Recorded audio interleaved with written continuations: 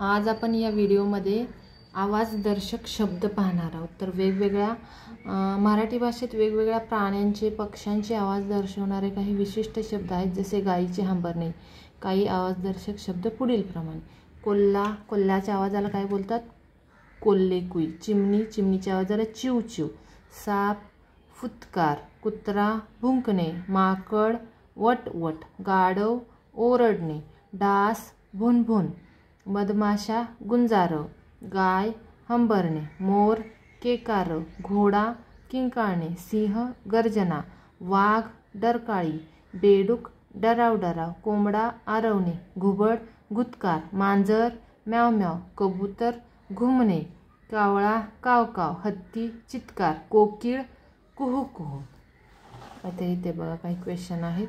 बकरी बकरी काय करते? तर बे बे. बेडूक काय करतो? डराव डराव. मांजर काय करते? म्याव म्याव सिंह सिंह सिंहाच्या आवाजाला म्हणजे काय म्हणतात तर सिंहाची गर्जना. वाघ वाघाच्या आवाजाला आपण काय म्हणतो? वाघाची डरकाळी. कुत्रा कुत्र्याच्या आवाजाला आपण काय म्हणतो? भुंकणे. मोर मोराच्या आवाजाला आपण काय बोलतो? केकारव आणि डास डासाच्या आवाजाला आपण काय म्हणतो? भुनभुन. तर हे तुम्ही राईट करायचं आहे. thank you for watching. Please subscribe like and share.